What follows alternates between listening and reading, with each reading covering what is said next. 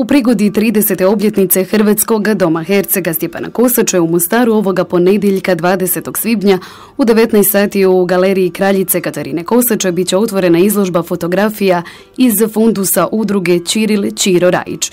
U povodu izložbe gošća u našem meteru je predsjednica društva povjesničara umjetnosti poštovana profesorica doktorica Tatjana Mičević-Đurić. Poštovana profesorice, dobar vam dan i hvala vam što ste gošća u našem meteru. Dobar dan, hvala vam na pozivu. Za sam početak našeg razgovora, tko je bio Čiril Čiro Rajić i koja je njegova uloga u dokumentiranju povijesti Mostara, ali i Kosače? Čiro Rajić je e, jedna od nezaobilaznih ličnosti mostarske povijesti u zadnjih 50 godina. On je bio fotograf, e, vrsni umjetnik i poznavatelj svoga zanata i možda ono što je najvažnije zaljubljenik u posao koji je radio jer njemu fotografija nije bila samo posao osiguravanja egzistencije nego je on zbilja živio e, život fotografa koji je uvijek vani, koji je prisutan na svakom događaju, u svakom prostoru, u svakom bitnom trenutku kojeg je trebalo zabilježiti. Inače, Čiro Rajić, nažalost pokojni, bio je dugogodišnji fotograf u službi zaštite spomenika, e, odnosno u regionalnom zavodu za zaštitu spomenika u Mostaru i ja sam ga upoznala kao studentica na početku svoga studiranja kad mi je trebalo nabaviti neke fotografije. Pa je moj profesor na fakultetu meni rekao samo se ti obrati Čiri, tamo ćeš naći sve što ti treba. Eto, to je bio Čiro jer je on zbilja bio riznica za sve one koji su željeli saznati nešto više o prostoru u kojem živimo. Što je obilježilo njegov fotografski rad? Pa ja mislim da je to upravo ovo što sam rekla. Prije svega dokumentiranje spomeničke baštine nema to kutka Hercegovine gdje Čiro nije bio. Njegov rad, odnosno rezultati njegova rada, kako sam evo već rekla, prevazili, prevazili, prevazilazili su prostore Hercegovine, znači i oni stručnjaci, oni istraživači koji su živjeli negdje drugdje, a dio njihova istraživanja odnosio se na prostor Hercegovine, mogli su računati na Čirinu fototeku.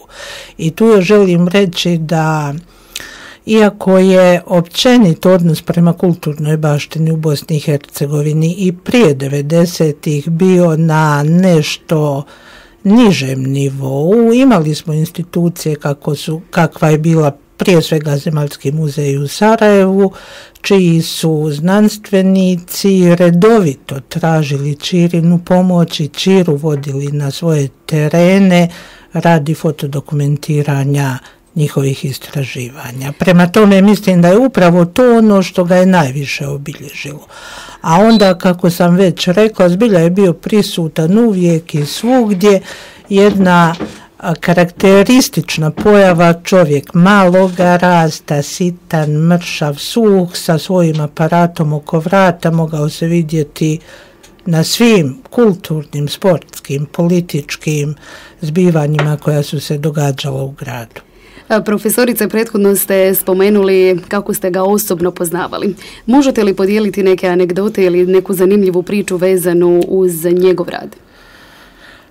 Pa kako sam rekla, upoznala sam ga kao student on je, on je bio dosta stariji od mene, on je bio generacija mojih roditelja i moram reći da se uvijek prema meni ponašao tako, kao, neću reći kao otac, ali kao jako ozbiljan i brižan stariji kolega. Najviše sam s njim surađivala u toku rata i tada smo obilazili teren ratom devastiran i, i uspjeli jednom prilikom smo išli u obilazak nekih sela na rubu Popova polja upravo nakon oslobođenja tih prostora i vodili su nas neki vojnici, onda smo završili skoro u neprijateljskom taboru. Eto, sjećam se toga da je bilo čak jako opasno. A inače uvijek je bio problem s Čirom jer je jer je gotovo sebično čuvao svoje fotografije i bilo je teško dobiti od njega snimku koju ste baš htjeli. On je imao svoje viđenje šta treba dati, vi svoje šta treba uzeti i e, bilo je malo i zahtjevno s njim raditi.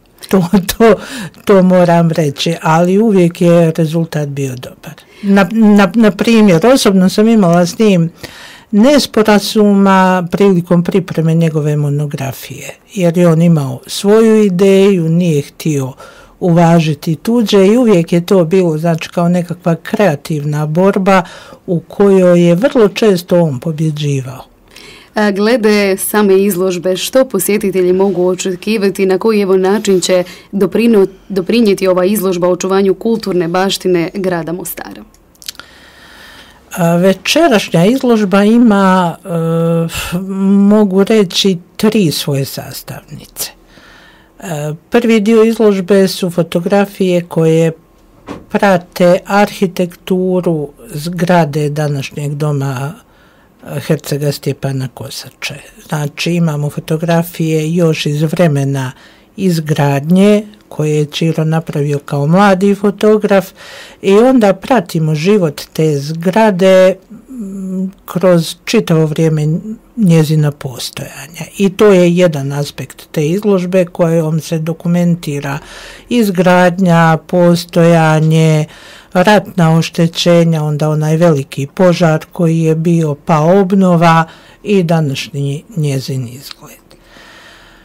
E, druga sastavnica izložbe je e, funkcija zgrade, znači ono što se sve u njoj događalo, što je možda najveća njezina vrijednost. I u predgovoru izložbe ja pišem, znači bez obzira na naziv kojeg je ustanova smještena u ovoj zgradi imala bilo Radnički univerzitet, Dom mladih, Dom kulture, danas Kosača, uvijek su se tu događale stvari koje su od jako velike važnosti za život našeg grada, a ja bih rekla i malo šireg prostora, znači čitave regije, a prvenstveno ona zbivanja koja se odnose na kulturu, na umjetnost, pa tu su i nekakvi politički skupovi i znanstvene konferencije, puno toga važnoga se događa unutar i oko ove zgrade. Samo bih htjela spomenuti kako su neke od, od mm, kulturnih ustanova primarnog značaja smještene u ovoj zgradi bilo od samih početaka kao što su Narodna knjižnica ili umjetnička galerija, bilo privremeno i u novonastalim okolnostima kao što je recimo simfonijski orkestar ili u ovom trenutku Hrvatsko narodno kazalište dok čeka izgradnju ili djelomičan završetak radova na svojoj zgradi. Evo, dotaknuli smo se glavne teme, ali i motiva zastupljenih na izložbi. koliko je fotografija planirano za izložiti večerašnjoj izložbi? na izložbi je veliki broj fotografija, ne znam točan broj, ali to je preko 70 na 27 panoa.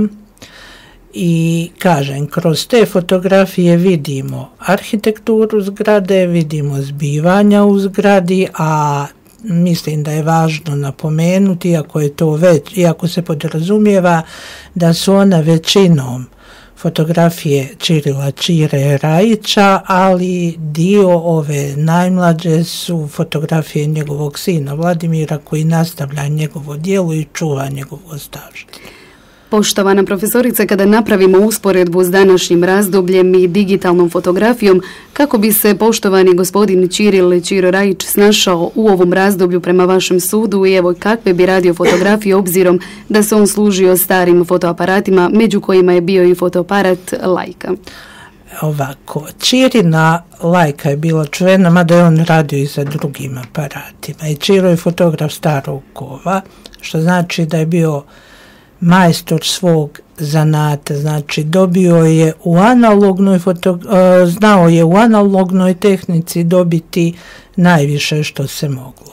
ali ne sumnjam da bi prihvatio i nove tehnologije jer je, jer je nova digitalna fotografija puno jednostavnija, daje puno više mogućnosti da dođete do dobre fotografije, nema nabavke filmova, razvijanja, možda bi Čiro analognu fotografiju zadržao da dođe do onih umjetničkih rezultata jer Čiro je bio ne samo dokumentarni nego i umjetnički fotograf, ali mislim da bi se digitalnom fotografijom služio za dokumentarnu fotografiju, a na kraju krajeva majstor je majstor, a Čiro je bio majstor. Što i danas sa ostavštinom pokojnog priznatog i poznatog mostarskog fotografa Čirila Čire Rajča? Drago mi je da me to pitate, a žao mi je što nemam odgovor koji je zadovoljavajući. Njegova prebogata arhiva koja je spašena, to moram naglasiti, isključivo zahvaljujući njemu osobno i njegovom sinu, jer se nalazila u zgradi zavoda koji se nalazio na lijevoj obali Neretve u zgradi zavoda, odnosno urbanističkog zavoda u Fejčevoj ulici. Ona je spašena onoliko koliko je spašena, spašena je u najvećem dijelu, zahvaljujući tome što su njih dvojica svojim rukama tu dokumentaciju prenijeli na ovu stranu i tako je spasili od požara jer je zgrada gorjela i sigurno bi ona izgorjela a, nju čuva vladu, nju čuva sin i on je i, i, i u posjedu te dokumentacije i pravno je njezin vlasnik i smatram da to nikako nije dobra situacija. Ta fototeka je naše nasljeđe, znači nasljeđe ovoga kraja. Jako je vrijedna za sve ono što se bude u budućnosti radilo, istraživalo ili čak projektiralo e, kada je riječ o kulturno-povijesnim spomenicima graditeljstva na prostoru Mostara, ali i šire i smatram kako ta građa, kako ta dokumentacija mora imati zadovoljavajući tretman kojeg sada nema. Znam da su vladini sin, o, čirini sinovi, prije svega Vladimir, radili dosta na digitalizaciji te fototeke, znači na, na prenošenju e, tih snimaka i negativa i te građe u digitalni oblik, ne, ali on to sve radi vlastitim svojim snagama, bez neke velike financijske pomoći bilo koga, smatram da je to neophodno. I financijski pomoći institucionalno riješiti i dati adekvatnu pažnju tom velikom blagu koje je ravno bilo kojoj, ne znam, bibli, čak i važnije možda, od neke bibliotečke i arhivske građe, jer je to, to, to je dokument ne samo jednog vremena, nego sve ukupne baštine i prostora uh, na kojem je Čiro dugi niz godina, preko 50 godina radio. Evo za sam kraj našeg razgovora Profesorice, koliko je važno održavati izložbe fotografija iz fundusa ovoga formata i oblika? Pa mislim da je uh, bilo koja izložba ovoga karaktera, znači dokumentarnog, retrospektivnog karaktera jako važna jer pomaže graditi svijest o važnosti onoga što je bilo i što smo imali. Inače mislim da je edukacija, širenje informacija, uh, razvijanje svijesti o važnosti onoga što imamo jako važno. Mislim da smo skloni uh, misliti kako je ono nešto negdje drugo bolje i važnije od onoga što mi ovdje imamo i to je apsolutno krivo polazište. Ono što mi imamo je jednako važno kao i ono što imaju neki negdje drugo. U nekim stvarima smo možda i jači, možda je ono što mi imamo, opet kažem, u nekom segmentu važnije, vrednije od nečega drugog, samo mi to ne znamo. E da bismo znali moramo pokazivati šta imamo i moramo učiti, obično se kaže mlade i mlađe generacije, ali moramo učiti sve nas opće stanovništvo, sveukupnu zajednicu o tome šta imamo, šta baštenimo, jer to je ono što mi jesmo, to je dio našeg identiteta i trebamo biti ponosni na to.